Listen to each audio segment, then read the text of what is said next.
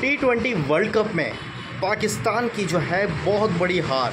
और T world cup में एक और सुपर ओवर जो है वो देखने को मिला, जहाँ पाकिस्तान जो है यूएसए जैसी टीम से जो है वो हार गई और यूएसए का जादू जो है वो छाया। मैच था, match number 11 Pakistan versus USA जहाँ पाकिस्तान ने जो है वो पहले खेलते हुए यूएसए जैसी टीम के खिलाफ कप्तान बाबर आज़म ने जो है रनर बॉल से भी जो है वो कम रन बनाए। यानी तिरालीस गेंदों पे आप चवालीस रन बनाते हैं यूएसए जैसी टीम पे तो आप कैसे भरोसा कर सकते हैं कि आप 180 या 200 रन जो है वो चेस चे, जो है वो यूएसए को जो है वो टारगेट देंगे। फिर क्या था, यूएसए की भी शुरुआत जो है बहुत बढ़िया रही, लेकिन 20 ओवर तक वो एक सौ उनसठ रन ही बना पाए और मैच सुपर ओवर में चला गया।